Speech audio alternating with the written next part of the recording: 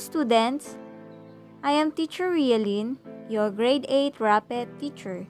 And for today's lesson, we will discuss about the arts of Southeast Asia, especially in Laos, Malaysia, and Thailand. The objective of our lesson for today is to identify the characteristics of the arts and crafts in specific countries in Southeast Asia. Now let's start! The arts and crafts of Laos. Laos is known as sa paper. Laotian make paper in hand in wider region for over 700 years. How to make sa paper? They use the bark of local sa or mulberry tree. The bark is crushed and soaked in water until it dissolves into a paste. The liquid is then scooped out, poured throughout a bamboo sieve, and finally placed in a thin layer on a bamboo bed and dried in the sun. Sa paper traditional uses for calligraphy, festive temple decor, fan, and kites. It has been revived particularly in Luang Prabang, northern Laos. It is used now to create lampshades, writing paper, greetings card, and bookmarks. Let's go to the Fabric design of Malaysia. Batik is the most common fabric in Malaysia. The term batik is Indonesian Malay word, believed to be related to the Malay word titik, which means point, dot, or drop. There are two categories of batik designs the geometric motifs, and free-form designs. Malaysian batik incorporated leaves and flowers to avoid interpretation of human and animal image as idolatry. It is famous for geometrical design or spirals.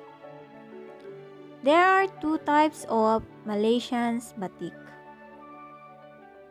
First, the hand painted. The artist uses the canting, a small copper container with one or more different sized pipes. Second, block printed, done by welding together strips of metal to form a metal block. Now let's go to the arts and crafts of Malaysia. Wau kite is a uniquely designed Malaysian kite. Its wings are similar to Arabic letter pronounced as wow. Farmers uses kite as scarecrow in the field as a means to lull their children to sleep and they could work with a little interruption. These are kites displayed in Pasir Gudang International Kite Festival. Now let's proceed to the arts and crafts of Thailand. The Sky lantern or khom loi are made out of rice paper with a bamboo frame, which contain a fuel cell or small candle.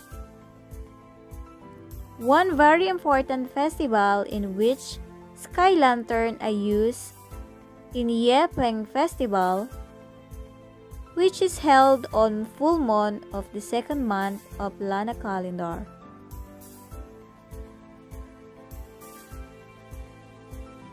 is also called the wish lantern. This is how festival looks like. A lot of bunches lantern in the sky. Loy Krathong Festival Thailand's most enchanting and second best known festival after its New Year's festival Songkran. The most popular festival held on the 12th full moon, usually in November. The word loy means to float, and krathong refers to a piece of banana trunk decorated with flowers, banana leaves, candle, and incense sticks. Thai have long been closely involved with the rivers for ages. Thailand is an agriculture-based country, which means rivers are like their own blood veins. To show respect to the river, goddess of the river, Ramake Kongka Thais decided to make Krathong for worship and ask for forgiveness. Thai also see it as a time to wave goodbye to misfortune and wash away sins of the past year and make wishes for this coming year. Here are the different design of Loy Krathong Festival floating in the river. That is the end of our discussion for today. Thank you and God bless.